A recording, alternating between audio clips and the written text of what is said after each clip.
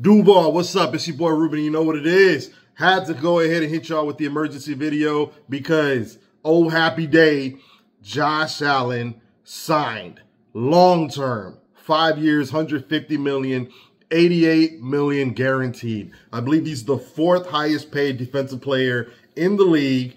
And um, I am thrilled, right? Thrilled. Let, let, let me give you guys, uh, for those of you that don't know what it's like being fans of the Jacksonville Jaguars, we, I believe in the last, I think it was stated last 14 ish years, this is only, I think, our third first round pick that, that we've re signed beyond their rookie season. it, has been that bad. And one of them was Blake Bortles. It's been that bad. I, I have a Leonard Fournette jersey that lasted me a year because we got rid of him. It's been that bad. And I literally, Josh Allen is literally my favorite Jaguar.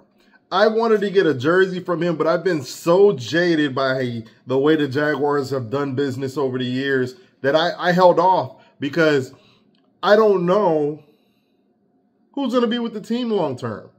So I fully expect to go ahead and get me a, a Josh Allen Jaguars jersey, knowing now he is a building block for this team. Now, the structure of the contract wasn't really disclosed. I don't know if it's front loaded, back loaded. Um, I would imagine it's back loaded uh, be- only because that seems to be what we've been doing with um, all the free agent signings. A lot of those deals were backloaded because some of you guys were wondering how we were able to sign X amount of people when we had limited uh, cap room.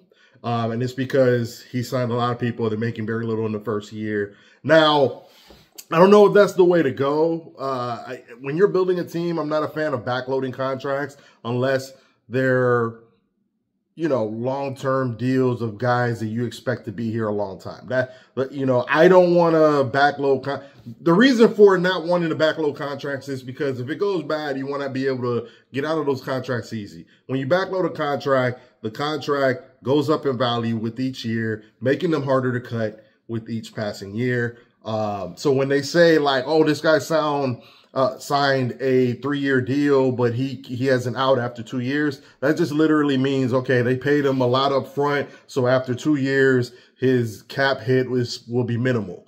So I would imagine Josh Allen's um, either an even kind of contract where it's it's relatively the same number each year, or it's it's backloaded.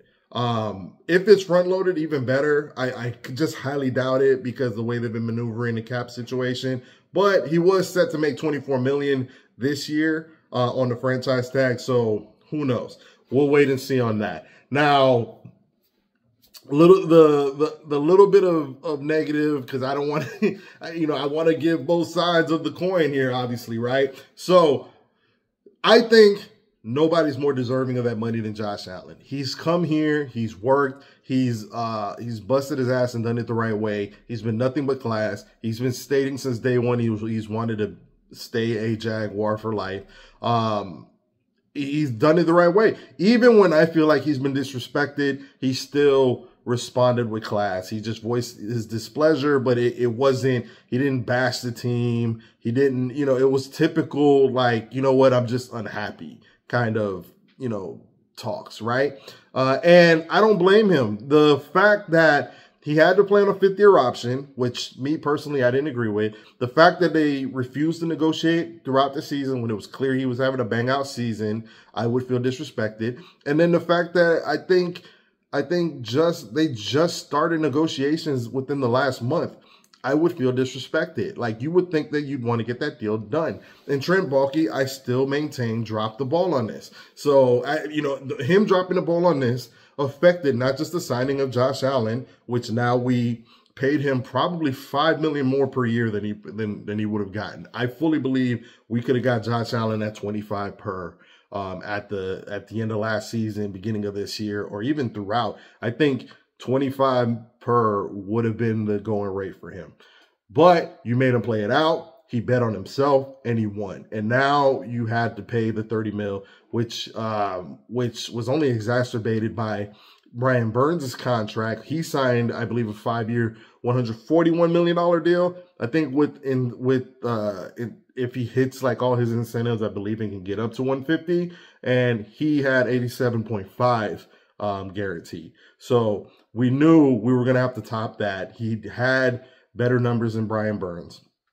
Um, for those of us that don't fully understand or or think that, because I see some people go, "Well, make him prove it again." And and no disrespect, I feel like those are casual fans. And the reason I say that is, is because you look at the sack numbers and you go, "Why does he deserve it?" Right? So, if and I stated this before, Trent Baalke had a good analytics department he would have knew that he was worth this money. And the reason I say that it is so he had the 10 and a half sack season as a rookie, right? Now, that's very good. Then I think he had a couple of injury plagued years, um, but he still had, you know, six, seven and a half sacks, things like that. But in the last two years, he's been top 10 in pressures, okay, which I think is even more important than sacks. Now, sacks is, is obviously the end all be all. He got there. But the fact that he's in the top 10. And last year, he last year he was in the top five. The year before, he was in the top eight. I believe he was seventh the year before. You could have seen this coming. So if that was a consistent number that, that you could see coming, an analytics department should have told him, hey, if his number is this and he's one of us, like he shouldn't. I respect making players play on the fifth year option, right? Unless it's something you could kind of see coming, right? So it's almost like dealing in bad faith because those analytics scream the sacks were coming, right? That just that, now for those of us that don't understand what pressures are, that basically means he was in the backfield affecting the quarterback. He just didn't get home and get the sack for whatever reason. The quarterback might have stepped up. Um, but it doesn't, you know, you don't know how many times that probably affected the play.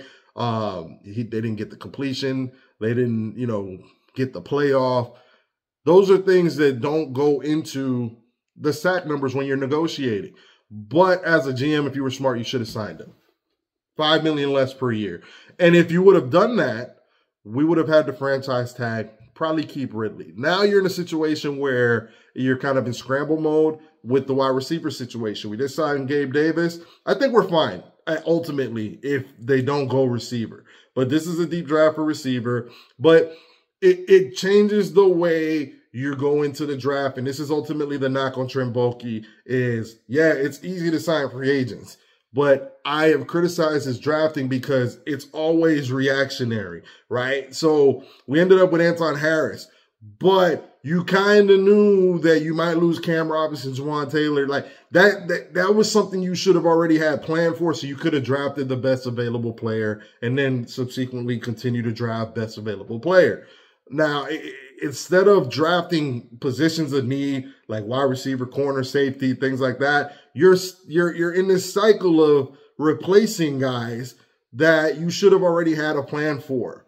So that's where my issue with Trent Baalke always is. And I was getting a really bad feeling with no deal on the horizon, at, at least that we could see uh, until this morning that was I was starting to get a really bad feeling because I wanted this deal done before the draft. Because if we got into the draft and Josh Allen wasn't signed and somebody falls, I didn't want Trent Baalke to have the ammo to, to try to get greedy and go, hmm, maybe I can move up in the draft and pick this guy, that guy in the third. Or if, a, if somebody like Jared Verse falls and you go, hmm, let me draft him and then trade Josh Allen for other compensation.